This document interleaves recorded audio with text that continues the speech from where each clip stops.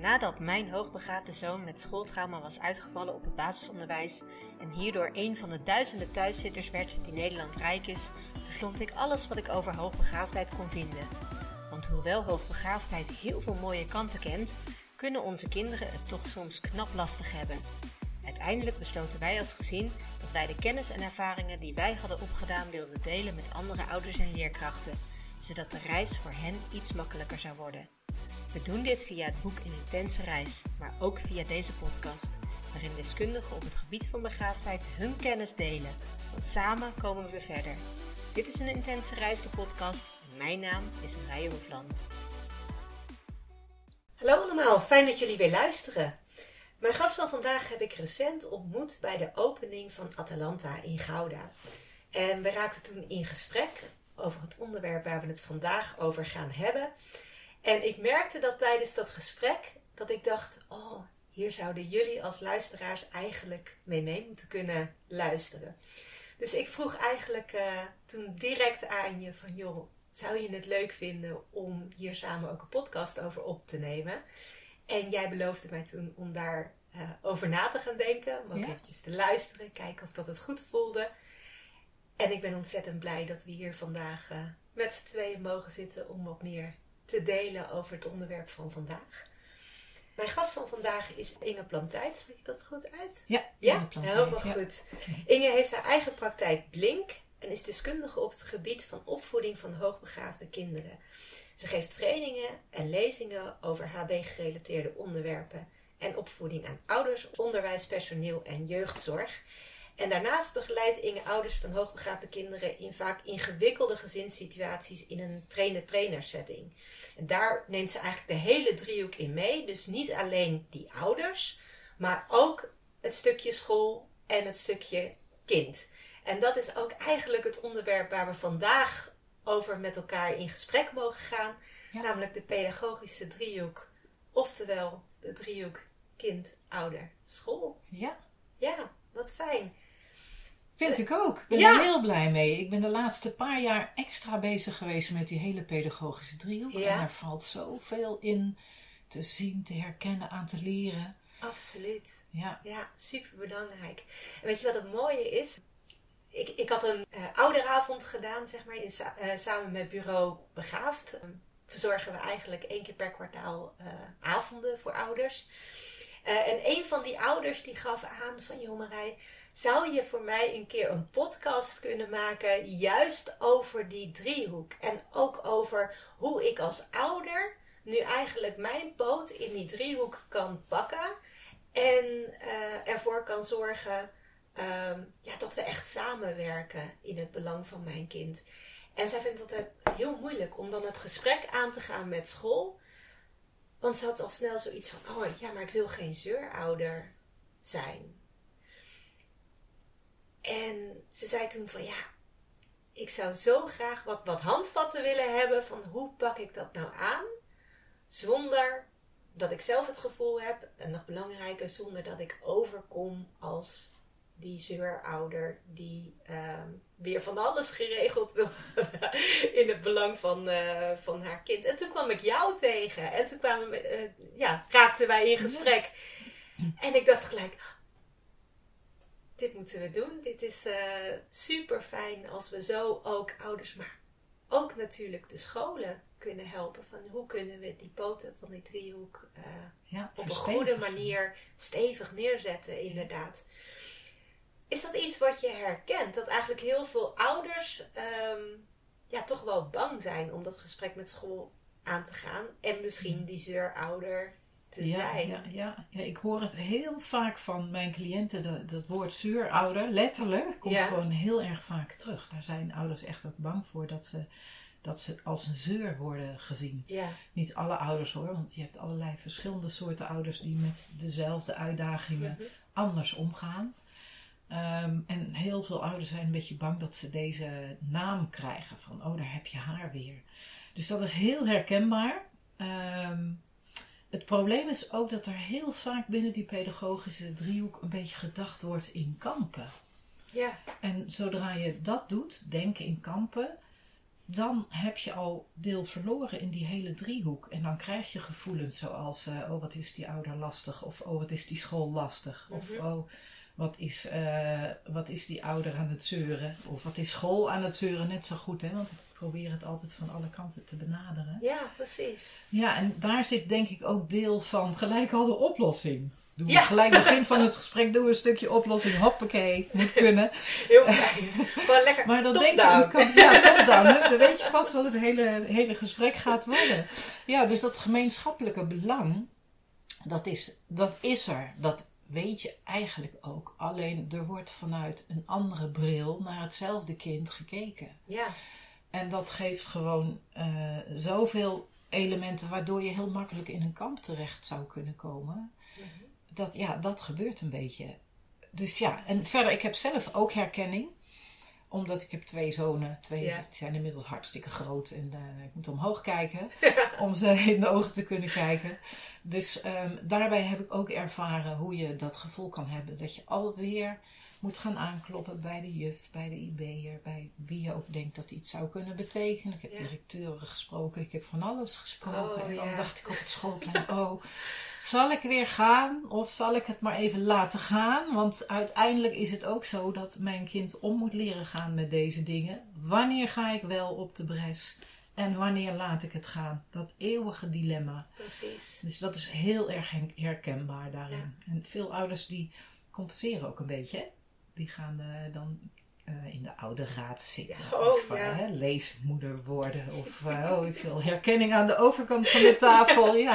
Oh, En ja, zo probeer je dan te compenseren dat je toch wel wat aandacht mag vragen voor jouw wat speciale kind, zal ik het zo maar zeggen. Ja, precies. Ja, en maar dat, jij, we hebben het wel over één groepering ouders. Want er zijn ook ouders die Mhm. hebben zoiets van: ja, hé, hey, mijn kind heeft ook gewoon rechten. Ja, Die zijn niet bang dat ze zuurouder zijn. En die stappen sowieso naar voren. ja. Wat de beste methode is, valt nog te bezien. Want de gouden oplossing ligt op de lijn tussen eh, diegene op school waar je mee praat en jou. En die is altijd anders. ja precies. En Ja, daar moet je naar zoeken. Ja, je neemt je eigen persoonlijkheid mee. Maar degene met wie je praat, neemt zijn persoonlijkheid mee. Ja, en die verschillende brillen, maar daar gaan we echt nog wel even aandacht aan besteden hier. Ja, mooi. Maar herkenning is er, ja. Ja, want we gaan nu heel snel over eh, dat we het eigenlijk al over die driehoek eh, Ja. hebben. Eh, maar misschien zijn er wel mensen die eigenlijk helemaal nog niet bekend zijn, zeg maar, met dit, met dit stukje concept, die pedagogische driehoek. Ja. Kun je daar iets meer over vertellen? Van wat is het? Hoe moeten ouders dat zien? Of ja, ik neem aan dat leerkrachten er vaak wat eh, bekender mee zijn, Ja. hoop ik. Nou ja, dat viel nog wel tegen. Want ik Oh. geef nu dus ook trainingen over die pedagogische driehoek. eh, juist aan professionals, dus aan leerkrachten, aan deskundigen van samenwerkingsverbanden, in hulpverlening. En dan eh, moet je toch nog wel het een en ander uitleggen. Dus had ik ook niet gedacht. Maar dus voor iedereen die het nog niet weet, gaan we dit even uitleggen. Want Ja. het is wel een heel fijn hulpmiddel. Want wat je eigenlijk doet met kijken naar die pedagogische driehoek, is je zoomt in naar een heel klein stukje Ja, om het hanteerbaar te maken. Nou, die driehoek bestaat dus uit drie poten. Eh, en die po dit zit gewoon eigenlijk in een vaste volgorde. Mhm. En het, de hele onderste as is een tijdlijn. Nou, wie waren er het eerste? De ouders. Ja. Eh, en al waarschijnlijk voordat het kind al verwekt was, was in, in, in hun gedachten dat kind al een beetje aan het groeien. ja, Dus eh, op een gegeven moment krijgen die ouders een dikke buik.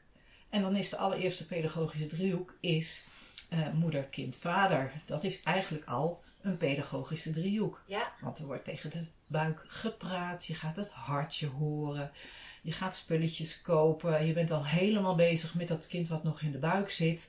Dus eigenlijk is daar al een pedagogische driehoek. Kopen we Wat een mooi voorbeeld, omdat Ja. er al eigenlijk. Ja, en ik denk dat dat besef ook heel belangrijk is. Dit soort dingen om te beseffen, hoe zit dat dan in de historie? En dat doet iets met je bril. Ja, Dus een ouder, die kent zijn kind dus ook vanaf min negen maanden. Ja. Dus daar zit heel erg veel kennis van het kind. Goed, dat is poot 1, want voordat ik daar nou weer te veel op ga inzoomen, dan ga ik alweer. Ehm, dus dat is poot 1, dat zijn dan de ouders. Ja. Dan komt een keer dat kind. Eh, die wordt geboren. En eigenlijk is dan de eerste pedagogische driehoek met een professional. Is dan de driehoek met de vroedvrouw of eh, de gynaecoloog. Of Ja. wie er dan ook als eerste, hallo hier ben ik, eh, tegenkomt. Dat is de eerste professional in het leven van het kind. Mhm. En die verdwijnt weer. En dat zegt gelijk ook iets van die poot helemaal aan de rechterkant, dus die er het laatste in is gekomen. eh, de professional, de beroepskracht, die is tijdelijk. Ja.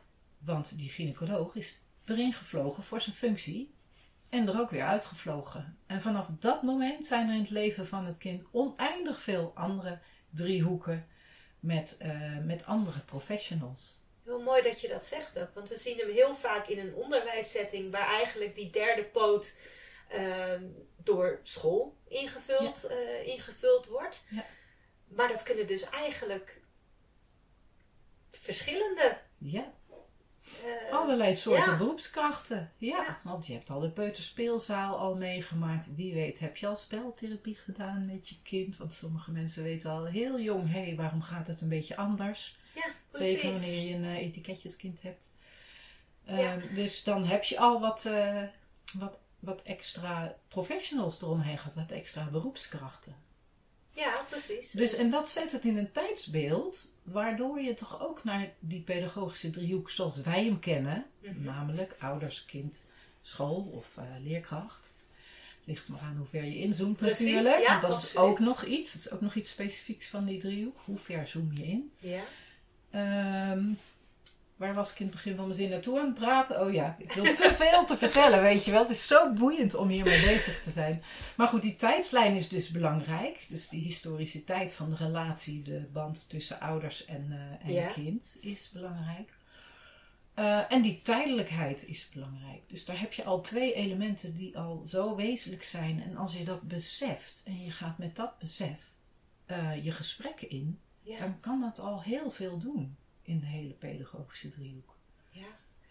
En misschien ook als, ehm, en nu denk ik hardop, al- als school, wetende van, joh, ik ben misschien voor dit gezin ehm, nummer 12 die deze poot eigenlijk invult. Ja. En dat dat misschien ook iets kan doen met Ja. eh, hoe die andere poot zich staande houdt eigenlijk van, van, van die driehoek. De poot tussen kind en De poot tussen kind en.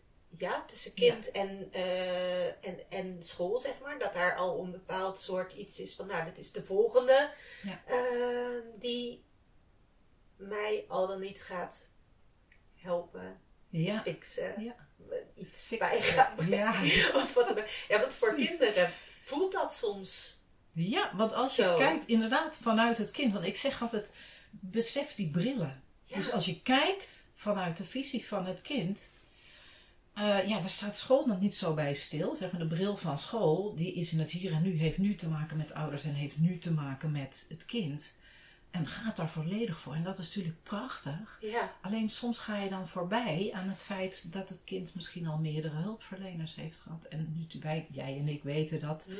Wij kennen al aardig wat van die gezinnen waarbij dat Ja. geweest is. En aardig wat kinderen waarbij dat inderdaad eh, zo Absoluut. geweest is. Wat ook belangrijk is dan gelijk binnen die driehoek, is juist dat stuk empathie, denk ik, daar dan in, of niet? Juist het je in Ja. kunnen leven in elkaar. Ja, ja. Eh, en ik denk dat deze wetenschap, dat is geen, geen empathie dan, dat je, dat je beseft van, oh, dat kind heeft misschien al eerdere, eerdere beroepskrachten gekend. Ja. Want ik, ik ken ook kinderen die daardoor dus helemaal plat geraakt zijn. En Oh ja. Niet meer ervoor gaan. Alleen maar denken, als ik dit uurtje maar doorkom, kan ik weer voetballen. Dus als je dat beseft, dan doet dat al heel wat. Ja. Dus het besef van... En een ander besef wat ik ook heel belangrijk vind... maar we schieten nu al je vragen door. Maar dat geeft Maar- niet. Een ander besef wat ik ook heel belangrijk vind... is dat die band tussen moeder en kind... al vader en kind of gezin en kind al... want ik probeer het ook altijd wat breder te trekken dan dat... ehm, al heel erg lang aanwezig is. En dat er een totale afhankelijkheid is geweest van dat kind van de ouders. Ja. Want die hebben gezorgd dat er eten in ging.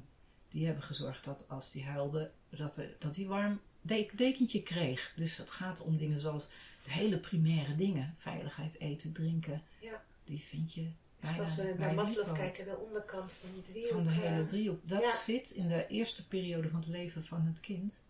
Ja. eh, bij de ouders. Dus dat wil zeggen dat er een hele grote loyaliteit is bij het kind naar de ouders toe.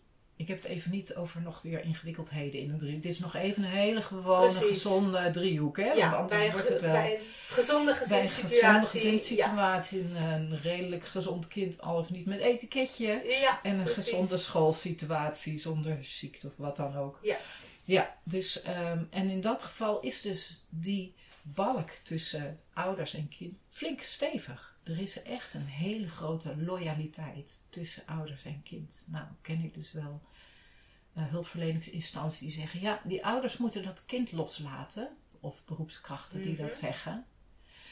En die gaan voorbij aan die balk tussen ouder en kind. Want op het moment dat die beroepskracht in zijn tijdelijkheid weer weg is, is dat kind toch weer op de ouders teruggewezen. Dus Ja, dat is ook een besef wat belangrijk is. In, eh, dus ga niet tornen aan de loyaliteit. Ja, maar jouw ouders. Kom nooit aan de loyaliteit van het kind. Duw nooit de ouders weg om het kind te kunnen helpen. Want dan komt het kind bovenop de driehoek, letterlijk in spagaat. Ik zie dat altijd Ja. zo voor me, weet je. Dat gaat niet. Dus vanwege de loyaliteit is het belangrijk dat je die hele onderste balk, die dus een tijdelijke balk is, ouders professional, gezond houdt. Dus precies. investeren in het kind, tuurlijk, daar ben je voor binnengehaald. Investeren in de ouders, ja, want dan gaat het, eh, het geheel van je interventies op die dikkere balk tussen kind en ouders. Juist. En als ik nu... Ik zit we heel hadden- erg te gebaren, maar goed, ja, ja. precies. Maar we hadden het ook... Ja, ik zit ook de hele tijd... Jij ook, ja. Je gaat vanzelf die driehoek zo voor Je je, gaat zien, hè? vanzelf die driehoek voor je zien. Maar we hadden het net ook over die, eh eigenlijk de piramide van, van Maslow, zeg Ja. maar, die, die driehoek. En ik moest gelijk denken aan, we hadden het over die onderste balk, ehm, ja, waarbij het eigenlijk gaat over onder, onderdak, eten, noem maar op. Maar op het moment dat we dan hoger in die piramide gaan, zeg maar, daar zit juist ook dat stukje stabiliteit, veiligheid, wat we weer terug kunnen brengen op dat stukje hechting. Die balk Ja. waar je het net over had, tussen ouder en kind. Dus eigenlijk kunnen we daarbij ook zeggen van, joh, om een kind stevig te laten staan, eh, is juist dat stukje veiligheid en hechting misschien wel heel belangrijk voor een kind. Ja. Dat een kind inderdaad niet in de spagaat. Ja, dus daarom ga ik altijd even goed opletten als iemand zegt: eh, je moet leren je kind los te laten. Of dat kind moet jou loslaten. Dan denk ik even: nou, laten we Ja. even naar de omstandigheden kijken. En wat is het dan? Is het dan Wat dat je dan als moeder, dat je wil dat die moeder je kind loslaat? Ja, Of wil je dat de andere poot ook meer grip gaat ja. krijgen? En hoe krijgt dan die beroepspoot meer grip? Ja, Dat is meestal niet door het wegduwen van ouders. Want dan haal je iets onder het kind vandaan wat veel te wezenlijk is. Dus dat kan eigenlijk nooit. Dus doe je interventies, kan het eigenlijk nooit zonder die ouders erin mee te nemen. En ik denk dat, ehm, weet je, die pedagogische driehoek bestaat natuurlijk al sinds mensenheugenis ongeveer. ja, Maar dit besef is er nog niet zoveel. En eh, nou, dan hoop ik dat ik daar een heel klein beetje in kan bijdragen door dit Ja. dan nu vandaag te doen. Want ik denk dat als je dat beseft, zowel als ouders, en dan begrijp je beter jouw rol. Mhm. eh, en als je het beseft als beroepskracht, en dan begrijp je ook beter jouw rol, dan helpt het al, denk ik, om die gesprekken waar we het nou, hè, wat de insteek van dit gesprek eigenlijk was, om die gesprekken eh, beter voor elkaar te krijgen. Want Ja. dan ga je toch net iets anders aanvliegen. ja. Als we hem dan weer eventjes e- even terugpakken. We hebben die, ehm, eigenlijk die verschillende poten, zeg maar, van, eh, van die driehoek. Ehm, we hebben het gehad over ook je kunnen verplaatsen, zeg maar, in de rol eh, van de ander en in die tijdlijn, zeg maar, van wat heeft een gezin, een kind eigenlijk al, eh, al meegemaakt. Hoeveel mensen hebben er al eerder op mijn plekje binnen die poot eh, gezeten, zeg maar. Maar hoe zou je er nu voor kunnen zorgen dat, ehm, dat eigenlijk die poten zo sterk mogelijk zijn? En dan niet alleen vanuit, nou goed, laten we het, laten we het nu nog hebben over dat die derde poot dan het stukje school is, dus het stukje leerkracht, eh, leerkracht is. Dus vanuit die rol, maar ook vanuit de rol voor die ouders om even terug te komen op het begin. Hoe zorg je ervoor dat je uh, ervoor zorgt dat we echt kunnen gaan werken zonder dat je bang bent van ik ben een zeurouder, maar juist dat je denkt van oh, maar nu zetten we twee hele sterke poten neer waarop mijn kind kan leunen eigenlijk. Ja, ja. Ja, ik denk dat op het moment dat je als ouder beseft wat voor een dikke balk jij hebt met het kind, om het zomaar even weer uh, te doen. En dat je beseft, ik ken dit kind van vanaf min negen maanden, en zelfs al eerder, want, ja. dan besef je ook jouw hele specifieke kennis en kunde. En dat is namelijk de kennis, de absolute kennis van het kind. Ja. En als je je ook beseft van de tijdelijkheid, dan besef je ook jouw absolute verantwoordelijkheid. Die overstijgt die van de meeste beroepskrachten. Dat klinkt heel gek, want beroepskrachten komen met een actkoffer. Ik zie, zo zie ik het altijd voor. Ja, kind, ja. klein rugzakje. En de ouders een dikke koffer met ervaring, met hun genen van vroeger.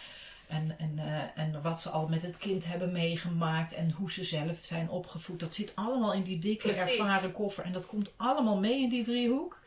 En een beroepskracht die heeft een aktekoffertje met um, diploma's, kennis, vaardigheden, ervaring met heel veel kindertjes. Ja, ja. Waar ouders ervaring hebben in hun kind. Precies. Um, en als je. De, en dus dat is ook wat die beroepskracht heeft, is ook heel waardevol. Sterker nog, hoe fijn als je van ouders kan meepikken wat zij aan specifieke kennis en kunde en ervaring met al die kinderen uh, uh, mee hebben gekregen. Dus als die ouders kunnen beseffen van, oh, dat valt daar te halen. Hoe fijn is dat? Ja. Want ik ken ook wel ouders die naar school gaan om te vertellen hoe school het moet doen. Ja. En ja. dat schiet dan wel eens een keer een beetje in het verkeerde keelgat bij iemand die het met alle goede bedoelingen en alle betrokkenheid vanuit zijn professie Precies. doet. Ja. Dus ik denk dat je de, als ouder het best af bent met de houding te hebben. Ik ben uh, de absolute deskundige op het gebied van mijn kind. Hoe die gewoonlijk reageert. Welke interventies al geprobeerd zijn. Ja. Uh, hoeveel andere hulpverlening er al is geweest. Uh, hè, zijn levensloop degene.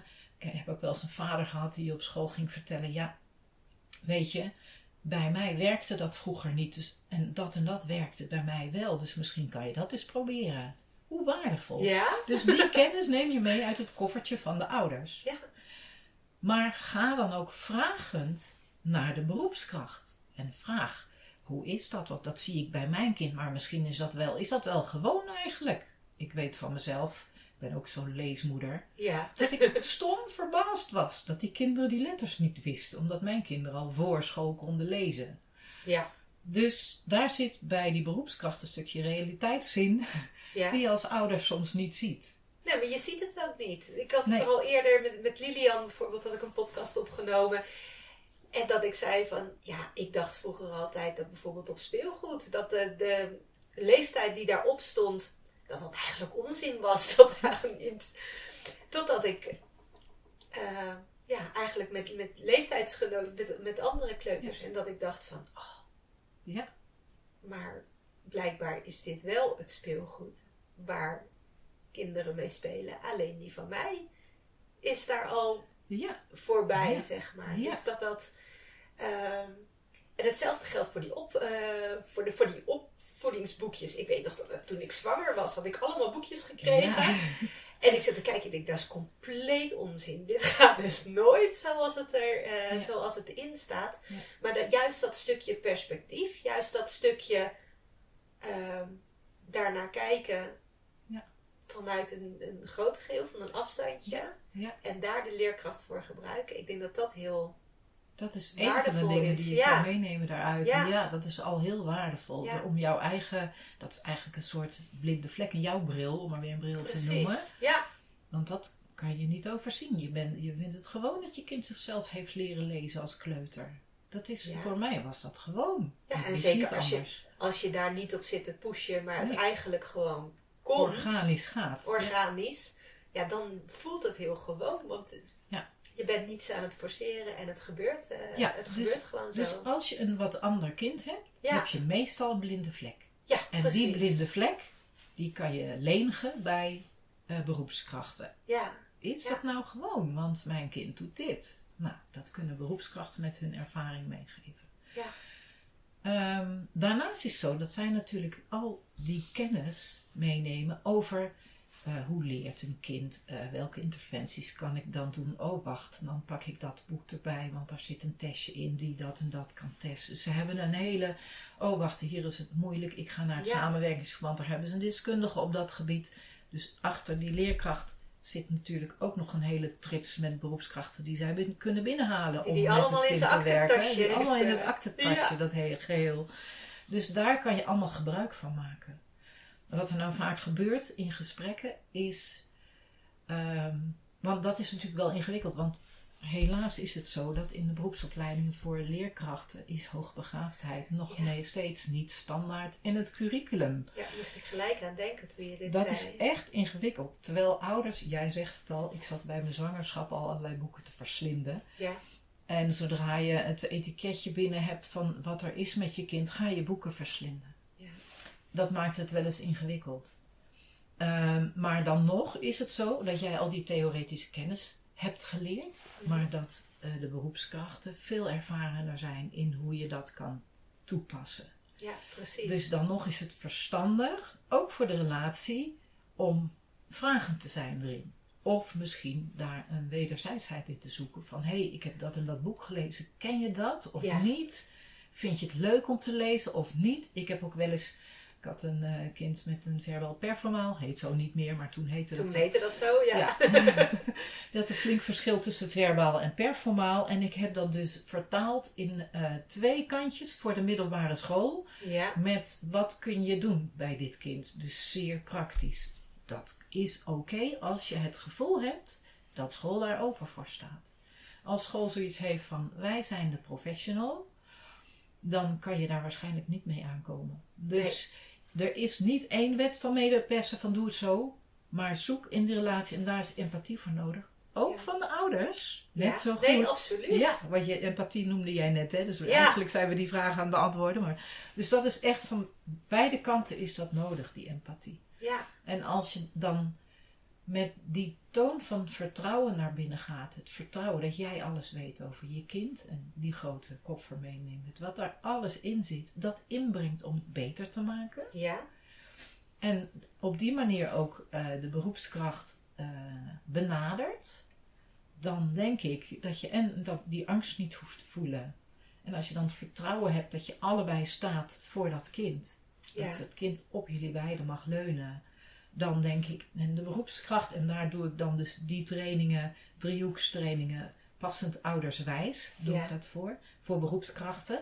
Als die het besef hebben wat de rol van ouders zou kunnen zijn, en die kan dat weer inzetten, nou dan heb je denk ik een gouden driehoek. Hè? ja, precies. En dan hebben we het nog niet eens gehad over de relatie met het kind, want ook daar valt nog heel veel over te zeggen. Maar het gaat even om het besef van die historiciteit, van die loyaliteit, van die tijdelijkheid, van de professionaliteit van, eh, van de beroepskrachten. Dat zijn de belangrijkste dingen erin.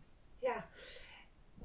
We hadden, het al, eh, we hadden het al eerder gehad over dat stukje ehm, hoogbegaafdheid, wat ook een rol kan spelen, zeg maar, in hoe deze driehoek ingezet wordt ten opzichte van ehm, ja, misschien eigenlijk andere driehoeken die tussen ouders en school binnen een schoolsituatie eh, zijn.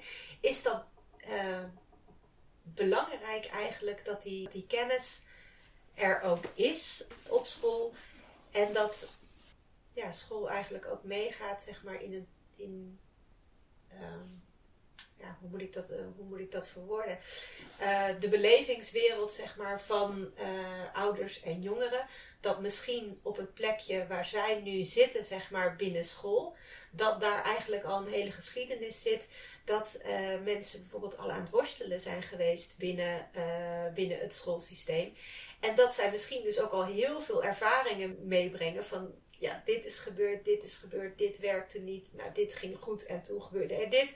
Dus eigenlijk die hele, uh, die hele tijdlijn daarin, maar dat juist ook dat stukje, die kennis van hoogbegaafdheid belangrijk is om te kijken van oké, hoe gaan we nu samen dat volgende stukje van de tijdlijn invullen, zeg maar. Dus we kijken naar wat weten we al wat er in het verleden is ingezet qua interventies en dergelijke en hoe die rollen vervuld zijn.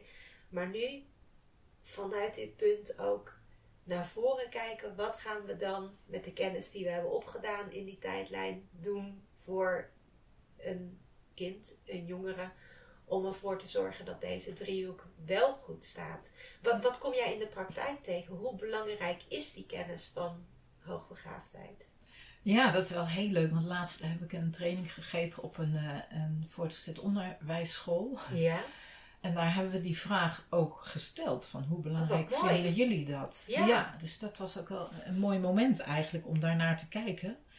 En daar zijn wel, wel verschillen in. Want jij noemde net die empathie. En die is zeer wezenlijk. Ja. En daarnaast is kennelijk kennis van, uh, van hoogbegaafdheid ook zeer wezenlijk. Maar hoe zit het dan in dat evenwicht? Want ik weet toevallig uit de praktijk dat er professionals zijn die niet zoveel van hoogbegaafdheid weten, maar door een authentieke, open houding ook eens kunnen zeggen dat je het zelf niet weet als het kind het wel weet. Dus met de juiste houding en empathie heel erg veel ver komen zonder de kennis te hebben. Ja.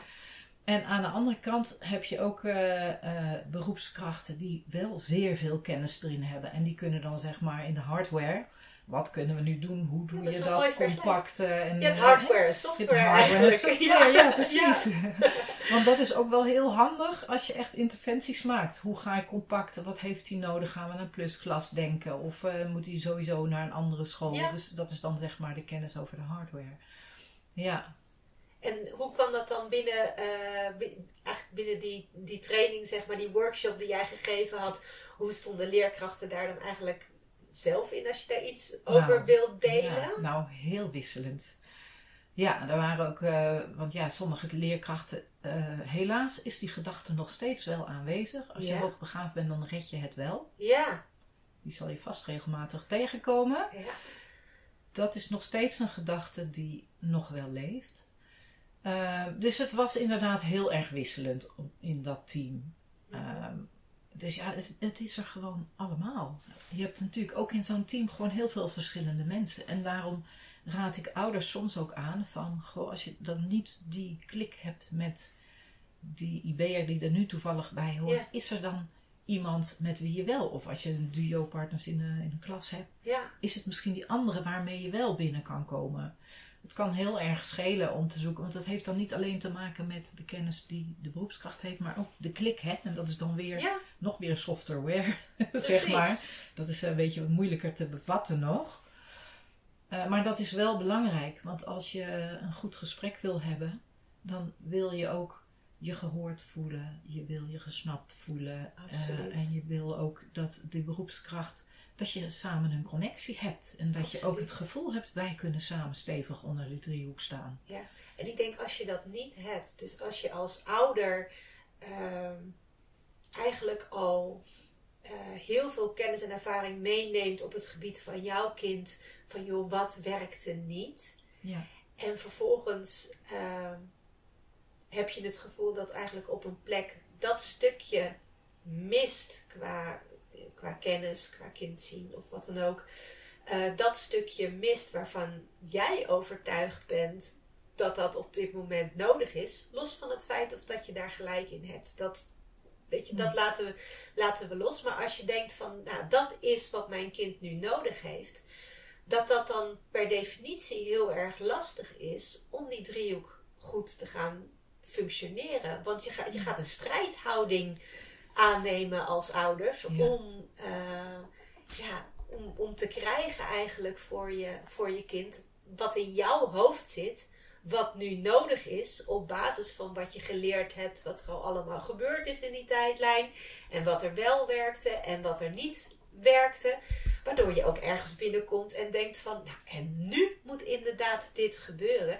En jij noemde al in het begin van, ja, je hebt dus ook ouders die daar komen en die zeggen, en dit is nodig, en dit is nodig, en dit is nodig. Ja. En dat gaat natuurlijk, dan, dan gaan leerkrachten waarschijnlijk vaak hakken in het zand. En ik ga dat niet doen. En wie ben jij Ja. om mij te vertellen hoe ik mijn vak uit moet, moet oefenen? Ja. En ouders denken van, ja, maar mijn kind is al zo beschadigd, heeft al zoveel opgelopen. Nu moet het gewoon goed gebeuren in het belang van mijn kind. Ja. En ik denk dat dat heel lastig is, want dan krijg je eigenlijk een, een, een driehoek die niet echt functioneert Nee. natuurlijk op dat moment. Nee. Eh, Nee, precies. Want we hebben het nu steeds gehad over hoe kan een driehoek goed functioneren. ja, maar vaak doet het dat ook niet, omdat Vaak iedereen zijn eigen bagage meeneemt Ja, natuurlijk. precies. Ja. Ja, Ja, en eh, als je mij vraagt welk woord moet er in het midden van die driehoek staan als een soort lijm, dan is dat het woord vertrouwen. ja, En het probleem is dat als een kind een, eh, al een schooltrauma heeft gehad, en ik zeg altijd, heeft een kind een schooltrauma, reken maar, dan hebben de ouders ook een schooltrauma. Want de, vanwege die dikke emotionele band tussen ouders en kind, Ja. is die ouders, zijn die ouders ook beschadigd. Ehm, dus op het moment dat dat vertrouwen op de een of andere manier eh, geschaad is, ook al is dat niet in deze driehoek, maar Dat in een andere uit. driehoek, dan weet je dat je tegenover een beschadigd kind en een beschadigde ouder staat ja, op dat moment. Ja, en dat is ingewikkeld. Zo'n ouder, die zit dan dus in de survival modus. Die ken je Ja. wel, fight, flight en Ja, freeze absoluut. kan het zijn. Nou, je omschreef net zo mooi die fight en nu ga ik ervoor. ja, Je hebt, ik ken ook ouders die zijn in de freeze geraakt. Die dachten, nou, het heeft toch echt allemaal helemaal geen zin. Ik weet echt niet meer. Ik heb alles geprobeerd. Ik weet het niet meer. ja. En gelukkig is het nog maar twee maanden. Ik hou wel mijn kind af en toe ziek van thuis. Ik hou het Oh, wel even. Hè, hè. Dat is misschien ook nog wel flight. Of, nou goed, daar kan je het toch over hebben wat ja, wat is. een beetje maar- dissociëren, een beetje terugtrekken Ja. natuurlijk Ja. eh, daarin. Ik heb ook wel ouders gehad die hebben gezegd van... Nou, ik heb nou bij jou een hele training en een heel traject gedaan. Ik ben eigenlijk even zo moe met alleen maar te kijken naar die hoogbegaafdheid.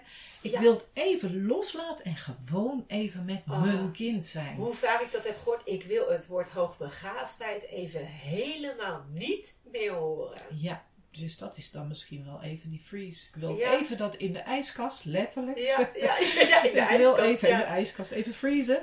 Even niet meer. En dat is soms ook heerlijk om dat in een vakantie te doen. Want jongen, jongen, wat ben je constant overal bezig met dingen voor elkaar te krijgen.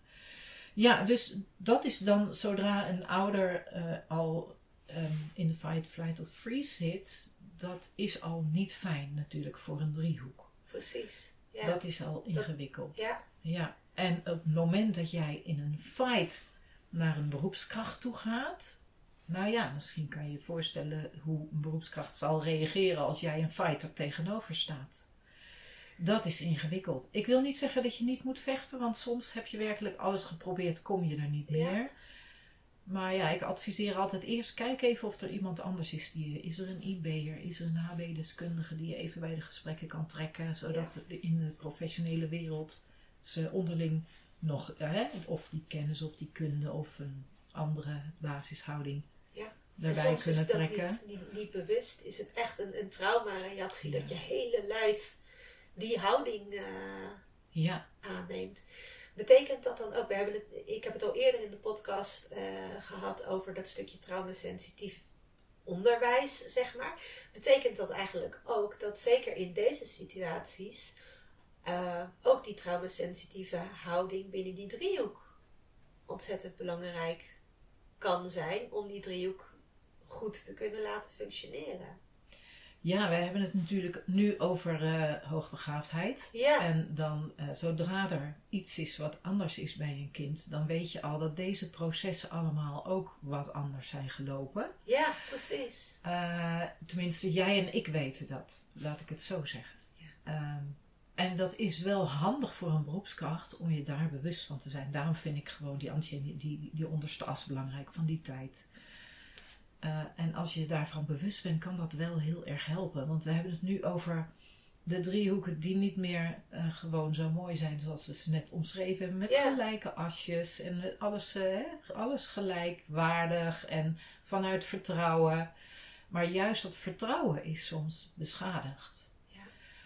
Ja. Ehm, dan heb ik het een en ander ook gelezen over pedagogische driehoeken, ook in allerlei andere gebieden, ook, ook in woonsituaties waar kinderen komen te wonen. Eh, dus ik heb er heel veel over gelezen, juist ook heel breed. Wat wordt er dan geadviseerd om eh, aan beroepskrachten om zo'n ouder met een trauma, met een kind met Ja. een trauma, om zo'n driehoek te benaderen? Er wordt eigenlijk altijd gezegd: doe eh, te veel te snel. Om vertrouwen terug te winnen, zal je dus eh, nou braver dan de pauze moeten zijn. Even een sprintje. Even, ja, een sprintje en zeer, zeer betrouwbaar worden. Dus iedere afspraak die je maakt, zorg je dat die op het afgesproken tijdstip gedaan is. Want als dat niet zo is, bij een gewone ouder, die kan daar nonchalant mee omgaan. Nou ja, kan gebeuren. Ja. Een trauma-ouder schiet onmiddellijk terug in, oh daar gaan we weer, want dit heb ik alles meegemaakt. En het gaat precies dezelfde kant op. Paniek Ja. huilen. Ja. Dus dan is de paniek zo dichtbij. En een van de tips voor een beroepskracht is dus: ehm, doe op tijd. Liever nog te vroeg Precies. dan te laat. Dat wat je beloofd hebt. Want vertrouwen terugwinnen is zo Ja. moeizaam. En je bent niet altijd het vertrouwen terug aan het winnen voor jezelf. Nee. Maar je bent een vertrouwen terug aan het winnen. Wat binnen die poot van die driehoek in het verleden Ja. eh, beschadigd is. Ja. Waarbij jij dus eigenlijk persoonlijk misschien helemaal geen rol hebt gespeeld, Nee, zeg maar. Maar wat, dat het wel nodig is om dat eh, te doen. Ik vind het heel mooi dat je zegt van ja, ga, doe dat stukje extra. Dus eigenlijk niet alleen van zie, zie een kind, Hm. Zie die ouders, maar leg het daar nog eventjes iets Ja. Doe. dikker Niet bovenop. Dat, ja. dat bijna, ja, dat je niet anders kunt dan Ja. dat zien en ervaren en doorvoelen. Van, oh, nu is het goed. Nu mag ik eindelijk ontspannen. Echt mijn zenuwstelsel eventjes in de rustmodus Ja. kunnen, kunnen zetten. En inderdaad hierop kunnen vertrouwen Ja, ja. dat er nu iets, ge- i- iets gebeurt. Waarvan we misschien niet allemaal weten of dat het het juiste is. Maar waarvan we wel weten, dit komt uit vertrouwen en vanuit de beste intenties Ja. voor een kind. En Ja. met hetzelfde, dezelfde, hetzelfde wat we voor ogen hebben Ja. voor een kind. ja. Mooi. Nou, precies. Dus het gaat eigenlijk dan om, om, eh, om het snappen dat daar een Mhm. trauma zit. Dus Ja. aan de ene kant, dus dat is die sensitiviteit zoals je het noemt. Maar ook om het doen. Je Ja. werkelijke acties doen naartoe. En eh, ja, dan zit die tijdelijkheid er ook weer in. Jij bent weer tijdelijk als beroepskracht erin. Maar er hebben al heel veel mensen voor je op dat plekje gezeten. En hebben ook dingen gedaan. Daar kan ook een trauma uit voortgekomen zijn van een andere beroepskracht. Ja. Dus trek het je ook niet persoonlijk aan. Want ik heb ook één keer bij een school meegemaakt. ehm, dat was echt een hele ingewikkelde. Ik werd als bemiddelaar ingehaald. Dat was heel ingewikkeld. En eh, daar was al zoveel in het verleden gebeurd. Ook al met een vorig kind. Even opletten, het is zeer, zeer neutraal verteld natuurlijk. Ja. Ook al met een vorig kind. En dat, daarin zat al heel veel trauma bij dat vorige kind. Eh, en daarin was het niet goed gekomen. Ja. Ehm, en toen kwam dat andere kind op die school. En waren ouders natuurlijk bijzonder gespitst op wat gaat er nu gebeuren. Want dit willen we absoluut niet nog een keer meemaken. Ja. En het probleem daarin was, was dat de beroepskracht niet had herkend, oh, dit is zijn trauma, maar die voelde zich aangevallen. ja.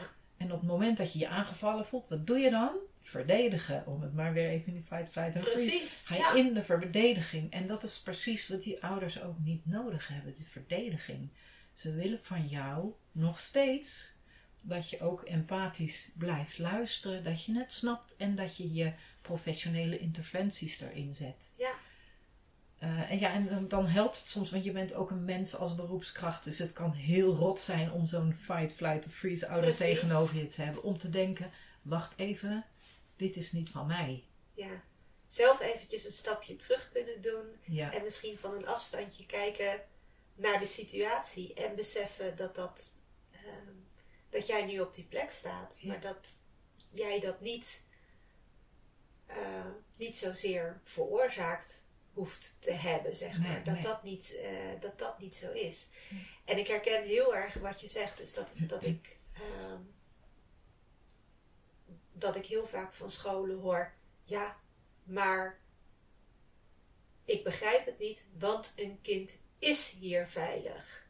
En dat ik denk, ja, dat is ook zo. Ja. En dat is heel fijn dat dat zo is. Ja. Maar we moeten heel erg goed beseffen dat er een verschil is tussen veilig zijn en je veilig voelen. En Ja. dat we dat stukje er extra bovenop leggen om dat te bevestigen, nodig hebben om niet alleen hier te beseffen, en ik wijs nu naar mijn, naar mijn hoofd, in mijn hoofd te beseffen dat ik veilig ben, maar om dat echt te doorvoelen, om echt dat zenuwstelsel de kans te geven, ah, ik mag ontspannen, Ja. ik mag me veilig voelen in deze, in deze omgeving. Ja. Ehm, ja, en dat dat niet per definitie zo is op het moment dat je denkt van ja, maar we hebben toch een veilige school. Het is Ja, toch oké? ja. Maar, en dat is ook heel wezenlijk, want op het moment dat je als professional eh, dat dus niet ziet, dan, eh, wat je heel vaak ziet gebeuren, is dan denkt de professional, nou ja, ik heb de ouders voor mijn werk ook niet nodig, ik ga me op het kind richten. Ja, En ik vind dat zelf persoonlijk niet helemaal handig, om dat maar eventjes heel Ja. ondercool te zeggen. Ehm, want op het moment dat je dat tussen professional en ouders niet meer kan uitspreken, dan gaat het kind dat punt 1 voelen. Want we hebben Ja. hier wel even te maken met die kinderen met die extra voelhorentjes. Hè? Die, ja, eh, absoluut. die ook die zelf eh, ja, die, dat allemaal heel goed ontwikkeld hebben en kunnen scannen. En die gevoeligheid hebben, die hebben het door, punt 1. En wanneer je het dan ook nog zou zeggen, dan komt het, eh, ja, die driehoek ziet dan al helemaal wegzakken. Dat Ja. kind komt in een soort loyaliteitsprobleem terecht. En Ja. als professional moet je ervan bewust zijn dat als het kind zo in de spagaat zit dat hij nog maar één schouder kan kiezen, Het kan. Ik wil net dan zeggen, het is niet eens een spagaat. Nee. Van, je, je kunt als kind eigenlijk maar één kant Ja. kiezen. Die want daar ligt je je basisveiligheid. Ja, dus dan eigenlijk wanneer je de ouders kwijt bent, ben je ook het kind kwijt. Ja, een hele mooie denk ik om, om te beseffen. Ja. Ja. Ja. Dus ja, ja, ik kan met allemaal mooie lijstjes van doe dit en doe dat, doe dat voor ouders of voor professionals. Maar ik denk dat dit besef Mm. aan de onderkant eh, van je basisberoepshouding of van je basishouding als ouders eh, het meest wezenlijke is.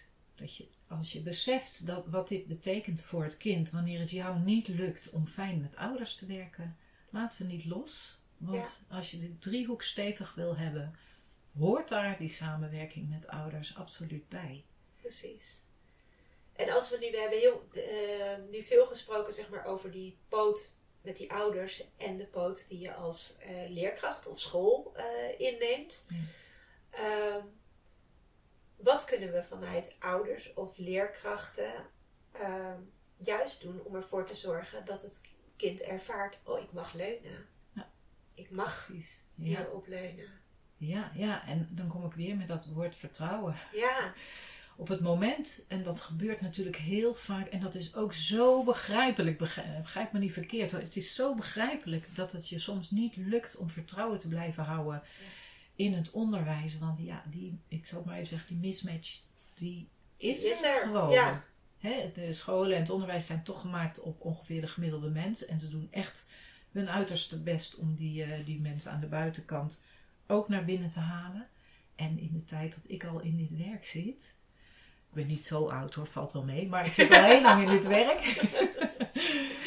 eh, heb ik wel gezien dat daar ontzettend veel goede stappen in gedaan worden. En op dit moment komt er weer een paar miljoentjes Ja. vrij. Hè? Iedereen Ja. weer blij. Dus Ja, eh, het wordt zo er- langzamerhand er liggen- gezien. er, er liggen conceptwetten en alles. Dus we hopen Ja, echt, april dat daar- ze daar weer over praten. Dus er gebeuren ja, wel hele mooie dingen eh, in, eh, in onderwijsland. En nu is het ook zo dat het inmiddels eh, op regeringshoogte ook erkend wordt.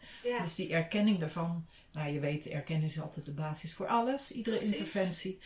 Dus daar ben ik ontzettend blij mee. En ik ben ook heel blij met alle groei die ik al heb gezien in onderwijsland op dit gebied. Dus dat is iets om heel dankbaar voor te zijn. Dus dat wil ik in ieder geval gezegd hebben. Om, hè? ja, dat vind dat ik gewoon heel belangrijk. Ja. veel mooie stappen eh, Heel veel mooie gemaakt stappen. worden. Ja. Ehm, maar we, hebben, we waren eigenlijk bij het kind. Ehm, eh, dus in onderwijsland, dat gaat uiteindelijk natuurlijk bij het kind komen als er nieuwe interventies, nieuw geld Ja, en alles ja, gaat bij het kind komen.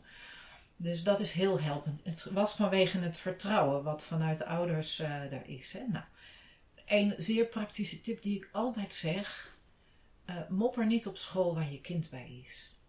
Ja, Ehm, want ga altijd uit van dat school ook zijn uiterste best doet. Het is echt geen onwil. Het is meer onmacht wanneer het niet Absoluut. gebeurt.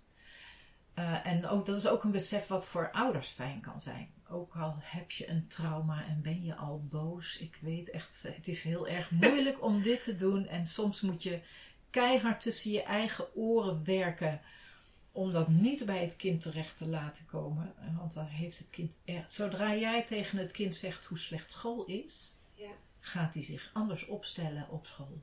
En dan krijg je dus op school een lastig kind.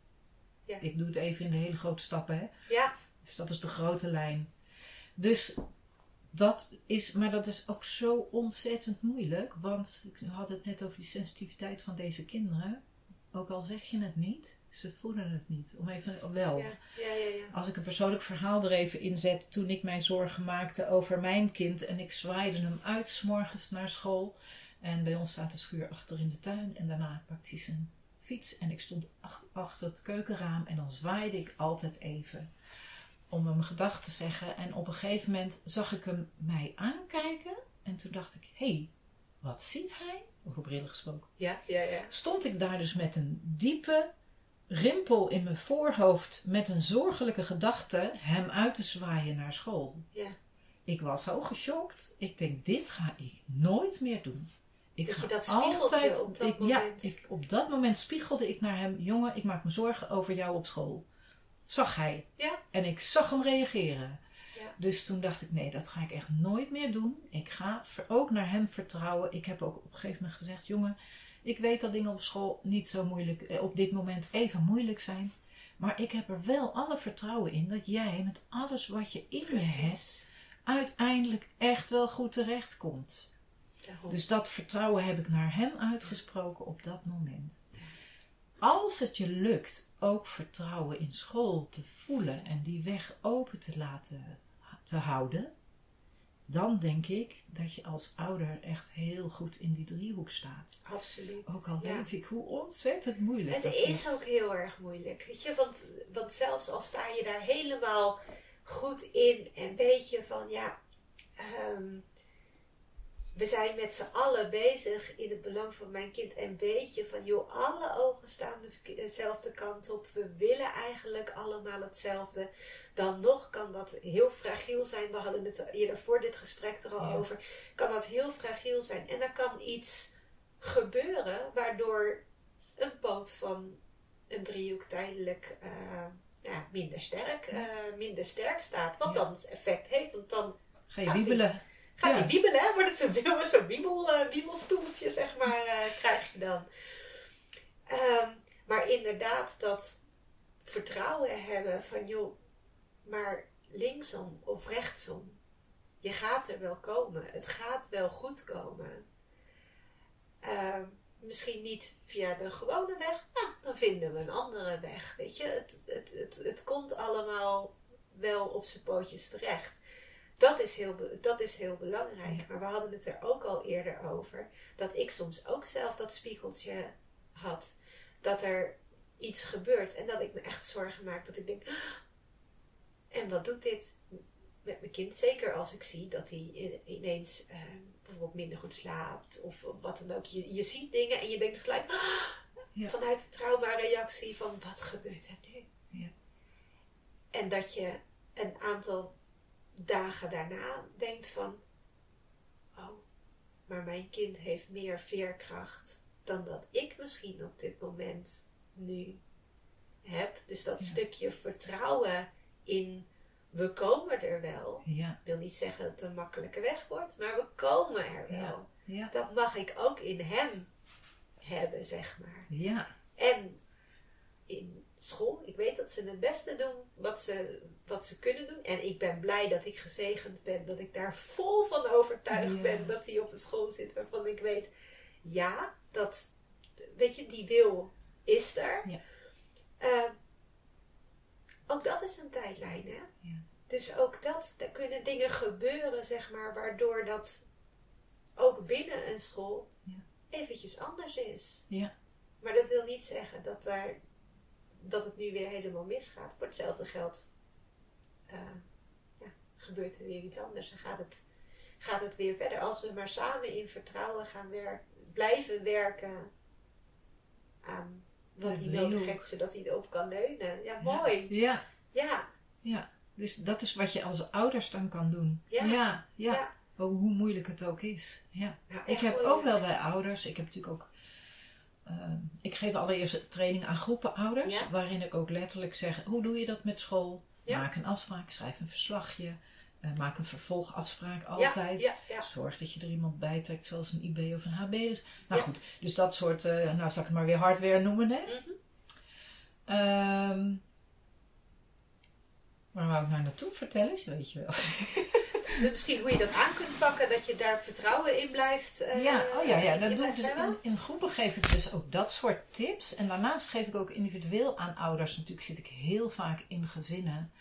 eh, waarbij we het natuurlijk ook altijd over school hebben. Ja, Eh, en regelmatig ga ik ook mee naar school. Maar Ja. ook alleen op het moment dat school zegt, ja, dat willen we. Ja. Want als, dat, dat is dan weer een ander soort driehoekje. Ik ben een beroepskracht bij de ouders. Ja. En ik help hun in de driehoek met school. Ja. Op dat moment, als het vertrouwen van school er niet is, dat het oké is dat ik erbij zit, dan klopt die driehoek ook Precies. niet. ja, Dus ehm, dat, dat is altijd heel wezenlijk om te doen. En ik heb dan verder heb ik het geluk dat ik en met ouders werk waarbij ik daarmee mag werken, maar daarnaast dus die driehoekstrainingen doe, ja. die dan voor eh, juist de, de, de beroepskrachten zijn in onderwijs en hulpverlening. Waardoor het misschien ook makkelijker is om die bruggetjes te maken. ja, niet? nou, ja. het heeft mij ook wel geholpen ook, ook al die brillen goed te doorleven. Ja. Voor mij dan. Hè. Dus ik heb heel goed begrepen wat er allemaal voor elementen in zitten. En dat helpt me ook weer om aan allebei de kanten precies dat neer te zetten waarvan ik denk, als ik bij de beroepskrachten zit, dan denk, zeg ik van ja. ja. Want dan zegt ze, beroepskrachten zegt er wel eens, die ouders helemaal, hebben helemaal geen interesse in de CITO-scores. Dat snap ik niet. Want ja, dat is hun aktekoffer, hè? ja, precies. CITO-scores, kijken waar die zit op dat gebied. Dat is hun aktekoffer, zijn ze trots op. Ouders hebben geen interesse. Dus dan moet ik ook zeggen, ja, die ouder, die is getraumatiseerd. Zeg ik Ja. niet letterlijk hoor. Die is bezig met, heeft hij nou eindelijk wel vriendjes? Welzijn. welzijn. Dus dat is weer die andere bril. En dat kan ik dan bij de beroepskrachten uitleggen. En ik kan aan de ouders ook uitleggen van eh, als je binnen die oren wil komen, leg dan even iets meer uit. Want dat Precies. kunnen zij niet als vanzelf zien als je zelf niet een hoogbegaafd kind hebt. Moet je even iets meer ze meenemen. En zo kan ik werkelijk aan twee kanten een beetje kneden, zeg Ja, maar. precies. In de trainingen die ik geef. Dus dat is wel, eh, vind ik heel waardevol. Ja, Ja. nee, maar dat is ook heel waardevol. En ik heb mezelf ook, zeg maar, dat ik nou eigenlijk toch wel regelmatig ook meega, zeg maar, in schoolgesprekken bij ouders. Juist ook omdat ze ehm, nou, het gevoel hebben helemaal vast te zitten en echt emotioneel vast te zitten in dat trauma. En zeggen van, ja, weet je, ik, ik kan het op dit moment niet. Ik zeg ook altijd van, joh, maar geef dat ook aan. Ge- Geef gewoon aan op school van, joh, vinden jullie het oké? Als ik iemand meeneem die... eh, ja, misschien een stukje mee kan nemen, maar die dan ook achteraf met mij door kan nemen van joh, wat is er allemaal besproken? Want er komt echt ontzettend veel op me Ja. af tijdens zo'n eh, tijdens zo'n gesprek.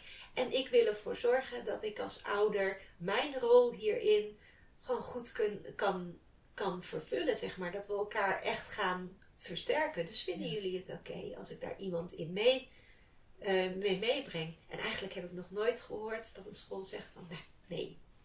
Nee. Dat, Nee. dat vinden we Nee, niet gelukkig, goed. Dat gelukkig is niet, gaat dat. eh, nee, staan ze er wel ja. heel erg voor open. Dan krijg je wel, eh, dan komt er nog een driehoekje bij. Van, eh? Ja, en je kwetsbaar op, eh, opstellen kwetsbaar is soms ja. ook, ook fijn. Ja. En je roept net al van, ja, dan komt er nog een driehoekje bij. Ja, want die kan je ook bij de ouders nog hebben. Want ik heb Ja. ook wel, want dat hoor je dan af en toe in die trainingen bij die beroepskrachten. Ja, maar die ouders die zitten echt helemaal krom in elkaar en er is van alles aan de hand. En ik zie dat syndroom, zie dat syndroom, zie dat syndroom. Ja. Nou, afgezien van dat je moet oppassen met dat soort Mhm. etikettering, dat is punt 1. Maar punt 2, ik kom natuurlijk ook wel eens bij ouders en dan denk ik, nou, dit trauma is zo diep gegaan. En dan adviseer ik ouders, Ja. ik kom hier om dat eh, opvoedingsstuk met jullie te helpen en mee te gaan naar school. Maar heb je zelf niet wat nodig in de Precies. verwerking? Want dat kan ik maar, ik kan dat een beetje. Ik, dus absoluut komt dat aan bod. Maar wanneer daar werkelijk meer voor nodig is, dan adviseer ik ze, joh, ga lekker voor jezelf even. Dat, eh, ik gun het jou. En het helpt je om ook beter met al deze situaties om te gaan. En dan adviseer ik om daar weer een driehoek bij te halen. Ja, Om een eigen, nou, is meer een lijntje dan, een psycholoog te nemen of therapie te nemen. Ja, om precies. dat stuk traumaverwerking ook ja. eh, en dat aan is dan inderdaad een driehoek vanuit die poot eh, van die ouders, zeg maar, ernaast. In het begin zei ik al van, joh, je geeft deze trainingen ook eh, aan de jeugdzorg, zeg maar, de jeugd, eh, jeugdhulpverlening. Ik kan me ook voorstellen dat er situaties zijn, zeker bij deze kinderen, dat eh, zowel school een rol speelt, maar dat er daarnaast ook op ditzelfde gebied eigenlijk ehm, hulpverlening aangesloten is. Ehm, ik vind het persoonlijk altijd heel erg waardevol dat dat, dat dat wederom weer niet twee kampen gaan worden van joh, je hebt het zorgkamp en je hebt het schoolkamp, die misschien niet beide samenwerken in het belang van het kind, want het een heeft zijn eigen doelstellingen en het andere weer andere doelstellingen en hoe we daar invulling aan geven kan samengaan, maar kan ook conflicteren, zeg maar. Ja, en het kan ook financieel, is dat ook nog een diepe vraag. Hè? Er, zitten, Ja. er zijn twee financiële stromingen. En die, Die je soms bij elkaar moet Ja. laten komen, zeker in het Ja. geval van, van schooltrauma. En dat is heel moeizaam. vaak. Ja. Ja, hoe, hoe zie jij dat? Eigenlijk het samenwerken van die, van die driehoeken. Ik roep altijd van, joh, eigenlijk, ik wil niet eens meer een driehoek. Ik wil Ja. eigenlijk een soort cirkel Ja. waar, het, waar, het, eh, waar een kind in staat en waar we eigenlijk allemaal samenwerken zonder dat we ergens een hoek kunnen hebben, zeg maar. ja, nou ik wil eigenlijk zelfs een bal. Ja. Om er ook nog die extra dimensie. Want Mooi, bedoel, aan, ja. aan ieder van die, die poten van die driehoek. Als je, eh, daar zit nog zoveel achter. Want we hadden net over hulpverlening voor één ouder bijvoorbeeld. Ja, Dus dan krijg je daar iets. Maar er wordt vaak ook hulpverlening voor het kind binnengehaald. Of die werkt dan op de relatie kind-ouder. Of Ja. nou, er zijn natuurlijk ontzettend veel. De, beroepskant die heeft natuurlijk het hele samenwerkingsverband om deskundigen uit te plukken. En eh, dus op die manier zijn er nog allemaal andere driehoeken die allemaal op elkaar inspelen. En eigenlijk is het een weerwaar van relaties onderling. ja, Dus zo, zo zie ik het ook. Maar ehm, om het hanteerbaar te maken en, eh, heb ik deze driehoek eruit gehaald. En anders dan wordt het een soepje, want het is eigenlijk een soepje van alle... Ja. Overal kan je lijntjes onderling tussen leggen.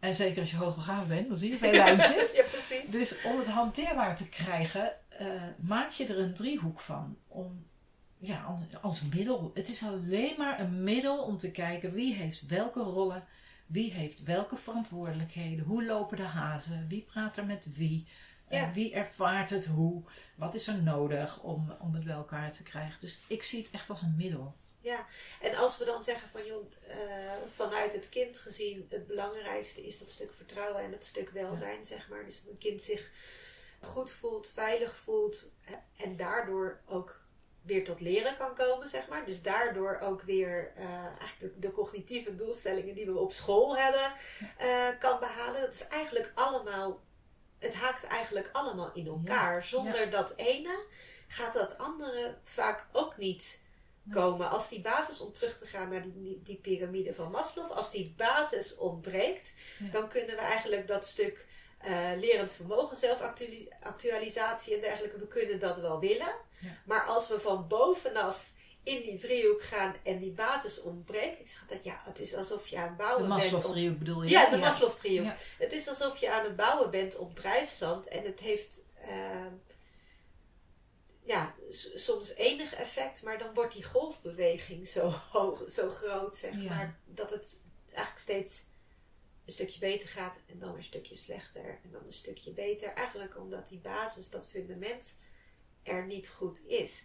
En ik kan me voorstellen dat om eh, die basis goed te hebben, dat het dus ook belangrijk is dat die twee driehoeken elkaar ook misschien weten te vinden, zodat die elkaar kunnen versterken. Of niet? De, juist de zorgdriehoek en de schooldriehoek.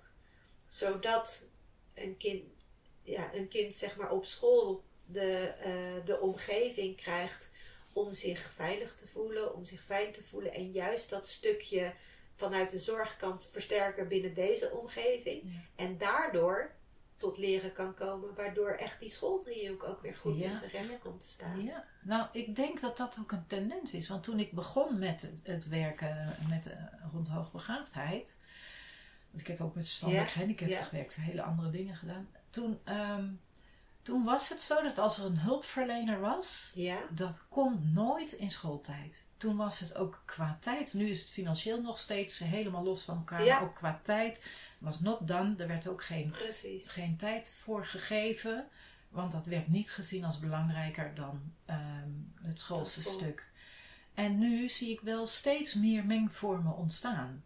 Ja, Ik ben een paar jaar geleden bezig geweest bij een, eh, een school om te kijken of er zorg binnen de eigen muren kon komen. Want die hadden een aantal bijna uitvallers. ja, En die wilden voorkomen dat het echt thuiszitters zouden worden. precies. Ja, los van dat het rot ja het is een rot woord, maar ja, dus Het is- eh het, maakt het wel even lekker duidelijk. Het is een rot de situatie. rot situatie mag ook best wel een rot woord bij.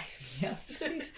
Dus en ik zou dat project dan, eh, dan trekken en dan eh, samen met nog wat andere mensen. En ehm, dat is dus stuk gelopen, al op het allereerste stuk. Want je moet een plan schrijven. Ja. En zowel onderwijs als hulpverlening wilden daar niet aan betalen, want ze wezen naar elkaar. Ja, Zo was het jaren geleden nog. En nu, dat soort eh, eh, initiatieven waar ik toen mee heb geprobeerd er los te trekken, die bestaan nu inmiddels. Ja. Je hebt inmiddels. eh, Atalanta, Dus, je hebt gewoon ja, Spira. dus wat dat betreft, er gebeurt gewoon wel het een en ander in. Maar er moet nog, ook nog wel heel veel daarin gebeuren. En daar zit denk ik wel winst in te behalen Ja. om, eh, om dit soort driehoeken veel gezonder te krijgen. Precies, want het wil ook nog niet altijd zeggen. We hadden het net over dat stuk van, joh, je kreeg het niet van de grond. Eigenlijk ook proef ik hieruit, omdat ze naar elkaar wijzen van, Ja. joh, hoe gaan we de financiering krijgen? Eh, veel ouders lopen hier natuurlijk ook met de initiatieven die er nu zijn, zeg maar, met, met Home en Atalanta, ook tegenaan, zeg maar. Dat het eerste stuk is dan, het eerste stuk binnen een traject is dan vaak het zorgstuk, zeg maar. Krijgen ze vanuit de gemeente, vanuit de jeugdwet. En op een gegeven moment zegt de gemeente van... Oké, ja, maar nu komt dat reïntegreren bij onderwijs. Samenwerkingsverband, wet passend onderwijs. Gaan jullie de portemonnee nu maar een keertje eh, trekken? En eh, het is ons zelf destijds overkomen. En ik kom dit voor, voor veel ouders tegen. Dat er in eerste instantie wordt gezegd... Gaan we niet doen. Ja. Ons geld voor eh, hoogbegaafde leerlingen gaat dan naar de HB-school. Dit is niet toereikend. Dit gaan we niet, eh, niet doen. Waardoor je dan als ouders toch nog de, de rekening gepresenteerd krijgt voor het stuk wat eigenlijk bij school eh, hoort te liggen. Of andersom, dat school wel dingen doet en dat een, een gemeente zegt van nee, maar dit, is, dit hoort bij school. Precies, ja. Dit En gaat dat is wel eh, gelukkig. Het ja. gebeurt nog steeds, maar er zit wel een tendens in. Ja, En ik weet toevallig dat bij eh, die overleggen die straks met de overheid over eh, Ja, dat die ontschatting ook aan bod gaat komen ik, als eh, ik onderwerp. weet dus, ook. ja, ja. mooi. dus ik hoop inderdaad dat dat iets, iets gaat betekenen. Weet je, we moeten ook allemaal een lange adem hebben hierin. En dan probeer ik het ook eventjes in de lange lijn te zien. Er is echt al heel veel gebeurd. Is het ook? Ja. Dus en het zou heel mooi zijn als hier nu stappen in zijn. Maar dat helpt natuurlijk die ene ouder en dat ene kind niet. ja. Dat, dat maakt het ingewikkeld. Dus, maar ik probeer altijd de hoop te geven van er is absoluut een trend, een tendens de goede kant op. Hou vol, zoek in eh, de wereld zoals die nu is de beste weg voor je kind. Je kan niet de perfecte wereld bouwen voor hem, maar kijk in wat er nu is. Precies. Mijn motto is altijd, dat is de, de opdracht voor een opvoeder, is Precies. om jouw eigen kind te begeleiden met zijn eigenschappen. Allemaal, hè? ook de lastige en ook de goede. Ja, ja. Om in deze wereld zoals die is, dus niet een andere wereld, een goede plek te maken, te vinden. ja. Dus dat wil zeggen, ga niet leunen, ga aan de slag. Maar wees wel realistisch, want dit is de wereld zoals die is. Ja, en probeer het samen te blijven doen. Zeg Ja. maar. Juist die verbinding eh, aan te blijven gaan met je kind, maar ook eigenlijk met iedereen die betrokken is. In verbinding kom je eigenlijk heel veel Ja. verder vaak dan vanuit die vechtmodus. Hoe Ja. nobel en begrijpelijk en dergelijke die vechtmodus ook is. Hè? Want dat, ja, het is een oerinstinct en je wil het beste voor, voor je kind. Ja. Eh, dus hij is heel begrijpelijk. Alleen niet altijd eh, Helpend. helpend. Ja. Hmm. Om een bruggetje vanuit hier, eh, hier te maken. Als ouders, eh, je zei net al van probeer flexibel te zijn. Probeer te kijken van joh, wat is eh, het, beste voor je kind. Besef daarbij van joh, we, we leven eigenlijk nog niet in een ideale wereld. Maar probeer daar tussendoor te gaan om te kijken wat is gezien wat er, wat er voor, voorhanden is. Hoe kunnen we ehm, ervoor zorgen dat ehm, je kind eigenlijk eh, in zijn kracht komt te staan. Dat het, het welzijn omhoog gaat. Zonder die curling ouder te worden. Die, alle, eh, alle beren van de weg probeert, eh, probeert te halen. Maar wel dat je ziet van oké. eh, mijn kind gaat hier niet kapot, kapot van. Het is een omgeving waarin die kan groeien, zeg maar. Waarin die tot zijn recht kan komen. Wie is daar nu eigenlijk, en dit is een, een vraag die in mij opkwam naar aanleiding van dat ik je website heb bekeken. Wie is er nou eigenlijk onderaan de streep verantwoordelijk dat dit gebeurt? Oh, en dit is zo'n ontzettend moeilijke vraag. Ik heb Voelt het een laatst beetje als ook... een gemene vraag, hè? Ja, nou dat, dat, dat is het niet hoor. Want Nee. ik heb laatst eens ook aan een eh, groep deskundigen gevraagd... waar ik zo'n training, de Ja. Training passend ouderswijs deed. En dan zei ik, wie is er nu eigenlijk eindverantwoordelijk? Ja, En dat werd best een worsteling om daar een goed antwoord op te kunnen geven. Want ehm, terecht, die deskundigen zijn verantwoordelijk om dat stuk van een samenwerkingsverband, passend Ja, onderwijs, is hun precies. doel.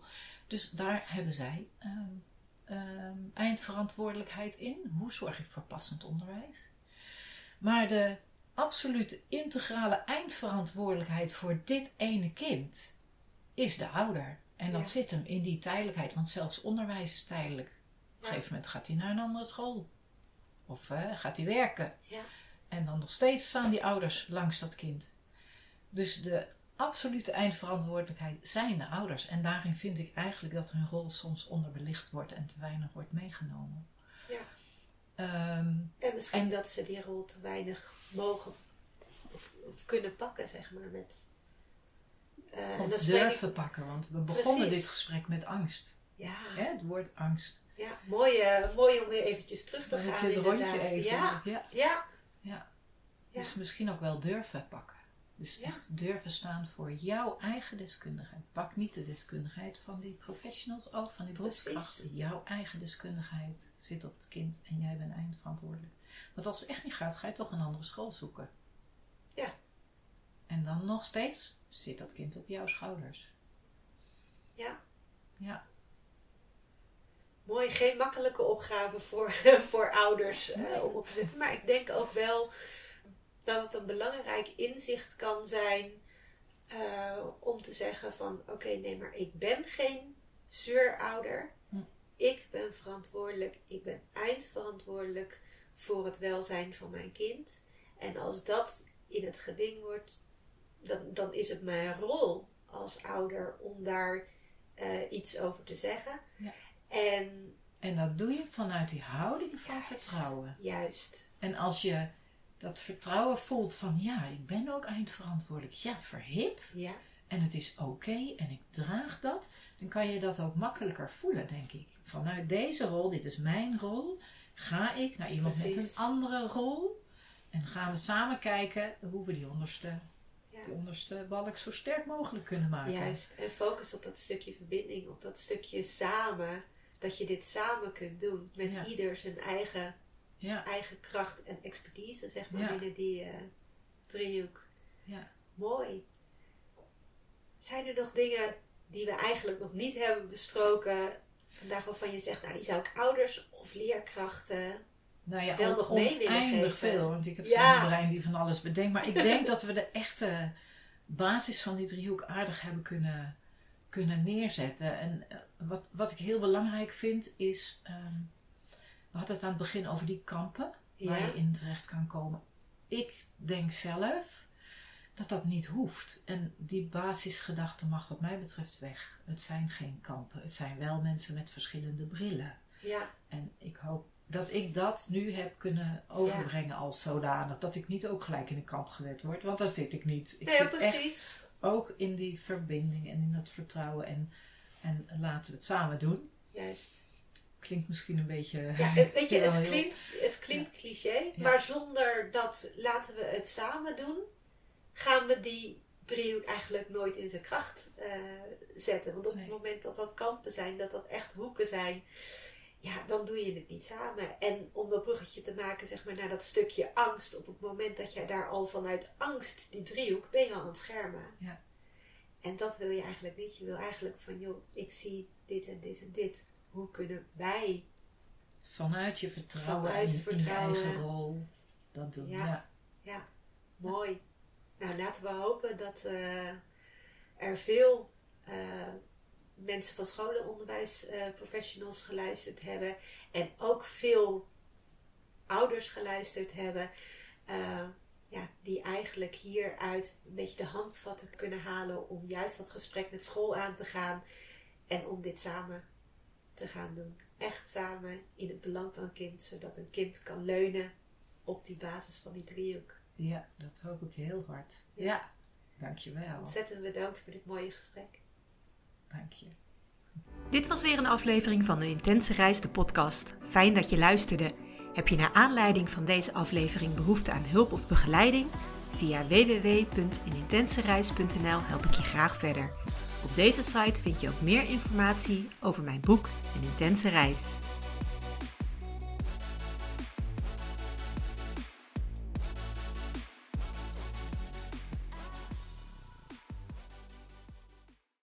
Luister je graag naar deze podcast? Laat de maker weten dat je waardeert wat hij of zij doet en geef een digitale fooi. Dat kan zonder abonnement, snel en simpel via fooiepot.com. Fooiepot met een d.com